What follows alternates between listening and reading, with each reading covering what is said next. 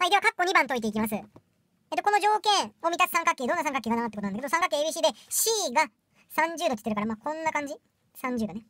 えー、ちょっと、ここは C ね。これ C で A、B。で、えっと、B が2ルート3で、C が2で、こんな感じかな。で、残りの辺がここと、あと角が A と B ね。はい。これを求めたら終わり。で、えっと、やっぱりこれ、過去1と同じで、制限定理と予言定理、どちらが使えるかなってことなんだけど、えっと、この3つの要素を、まあ、この3つのどれかに、この4つのうちの3つに当てはめていくんだな。えー、ここ当てはめる、当てはめることできるかなって考えるんだけど、これどっちも当てはめることができます。制限定理でも予言定理でも当てはめることができます。でも、えっと、ここに角度がありますね。角度に対する辺っていうのがありますね。で、これどっちも分かってます。で、一方、もう一個辺の長さ分かってる。でもこれ制限定理に当てはめようと思うなら、えっ、ー、と、この辺に対する、えっと、角ね。ここが、ま、だけが今、欠けてるわかんない要素であるということで、えっと、ここの式に当てはめて角尾を求めるってことができます。で、もう一個、えっと、予言定理に当てはめるんだったら、えー、こう、えっと、この言ったら角とそれに対する辺、そして、あと、えっと、この角を挟む2辺ね。挟む2辺ね。のうち、まあ、一方が分かってもう一方は分かってない。ってことで、予言定理を使ってこの A を求めに行くっていうこともできます。はい。あのー、どっちの解き方もやってみます。はい。ちょっと動画長くなるけどね。はい。まあ、あの、興味ない人は、あのー、前半だけとか後半だけでもいいです。はい。えっ、ー、と、まず、制限定理を使って、角 B を求めに行くっていう方法でやっていきます。制限定理使うと、えっ、ー、と、まずこの組み合わせね、えっ、と、30度と2を使って、サイン30度分の2っていうのを作ります。で、もう一個。えっ、と、角 B と2ルート3。これも向かってますから、サイン角 B 分の2ルート3。角 B はまだわかんないので文字のままです。はい。この分数が等しいっていうのが制限定理でした。はい。で、ここからサイン B を求めて、そこから B を求めるっていうやり方でやっていきます。はい。で、えっ、ー、と、まあ、こうなったら、えっ、ー、と、サイン B イコールの形に、ここから変形します。まあ、両辺サイン B かけてあげたら、左辺に現れて、右辺のサイン B は消えます。で、また、両辺に、この、こいつ逆数をかけてます。かけてあげると、左辺からこれが消えて、右辺にそれの逆数がかけられる状態になります。2分のサイン30度。こうなりますね。はい。ではこれ計算しましょう。2ルート3かける、はい、2分の1かける、サイン30度っていうのは、えっと、30度の直角三角形考えて、えー、サインが2分の1ね。2分の1かけたことになります。そしたらこれ2分の1と、えっと、2で約分されて、2分のルート3ってなります。はい、サイン B イコール2分のルート3。サインの値が2分のルート3になるような三角形。えー、2分のルート3になるような三角形、こういうものと、あと、えっと、サインだからこちら側にもできます。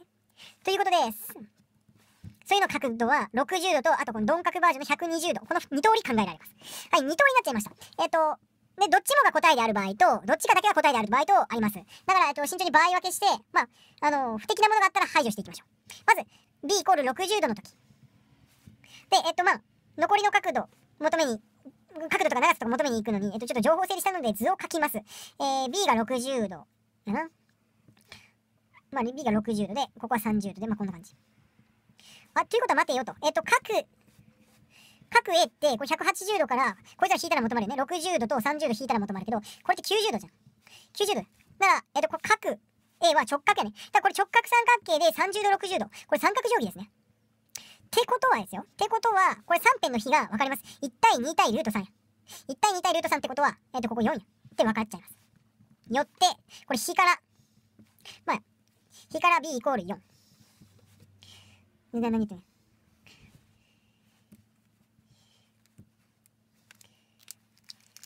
って、これ、えっと、1対2対ルート3やから、これ4って分かっちゃいます。なんでか、ここには、まあ、よって、えっと、A やね、A イコール4とだけ書いてください。はい、一方、今、場合分けの60度の方やりました。ということで、120度の方だったらどうなるか。B、これ120度の時。うん。これも同じように、まあ、図書いたりしてもいいし、あの、まあ、A イコール180度からっていうのは同じだね。で、ここが120だから120度とと30度引いて、えー、30度ですと。えっと、A イコール30度です。えー、じゃあ、三角形の形はどういう風になるかって言ったら、えー、っと、こんな感じですね。ここ30度でした。で、各 A も30度です。で、ここ120度です。ってことはこれ、あ、ってことはこれ、えっと、二等辺三角形ね。二等辺三角形。角 A イコール角 C の二等辺三角形ですね。ということは、えっ、ー、と、こことここの長さも等しい。えっ、ー、と、スモール a イコールスモール c。で、えっ、ー、と、スモール a イコールスモール c。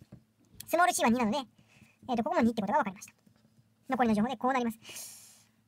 これで、えっと、残りの辺の長さ、角全部求まったので、まとめてあげましょう。以上より。これ結局、えっと、2, 2組の答えが出てしまいました。えっ、と、一組目は、まあ、B イコール60度の時、A イコール90度で、えっ、と、スモール a イコール4。もっとこれややこしい。はい。またはね、または、まあ、B イコール120度の時、えっ、と、A イコール30度。で、スモール a イコール2。ですね。この2組が答えになります。はい。で、今やったのが、この制限定理を使って、各 B から求めに行く方法です。じゃあ、えっと、これ、さっきも言ったけど、えっと、予言定理使ったらどうなるの？と。まあ、あと、もちろん同じ問題をちょっと別解で解いていきます。これ、写楽祭としてはもう次のカッコ3に行ってください。えーっと、な、何言ってね。分かっているのはやっぱり、えっと、最初の問題の時点で分かっているのはこの図やね。2と30度。この位置関係のものが分かっていて、あとここ。2ルート3っていうのが分かっています。で、えっと、予言定理を使うんだったら、今ここ、これ、予言定理を使うんだったら、えっと、向かい合う辺と角、辺と角があります。辺と角があって、えっと、それ、この角を挟む2つの辺が登場しません？そのうち一方だけが分かって、もう一方が分かってないから、ここを A にして、これで C に、角 C に着目して予言定理使ってあげます。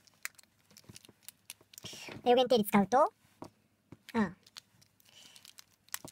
はい、カッコ2の別解ね、別解。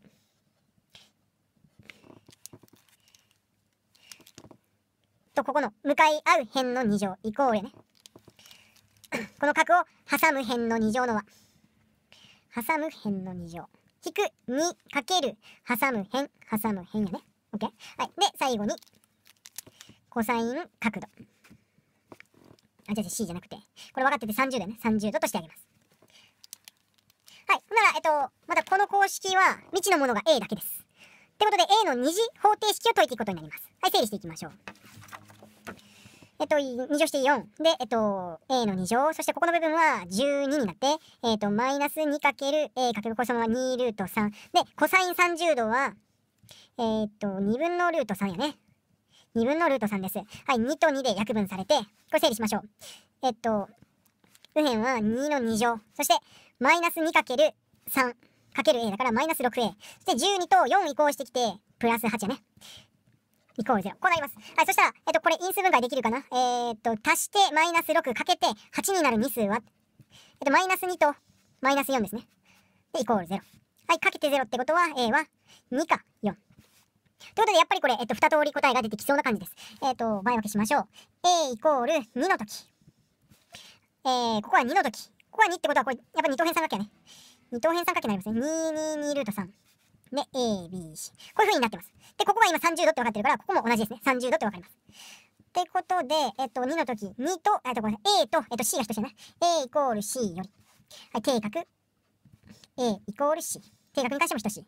で、C は30度と分かっているから、これが30度。ってことは B は、えっ、ー、と、これ30、30なので、180度から30度を2回引いて、えっ、ー、と、120度と分かります。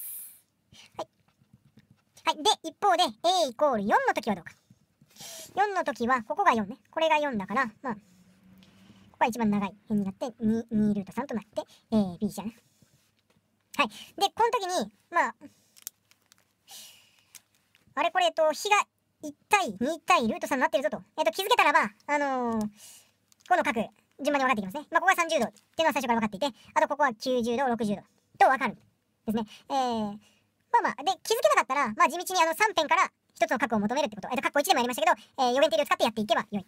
まあ今回は、あの、あの気づけた場合のままでいきましょうえっと、1対2対ルート3なので、っていうのを書きます。えっと、ここがスモール c ですから、スモール c 対スモール a 対、えー、スモール b イコール、えっと、1対2対ルート3より。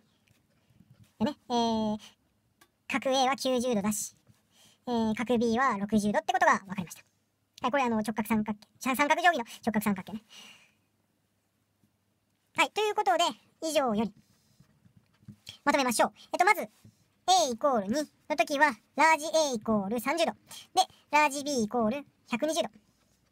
またはね、または、a イコール4の時は、ラージ a イコール90度。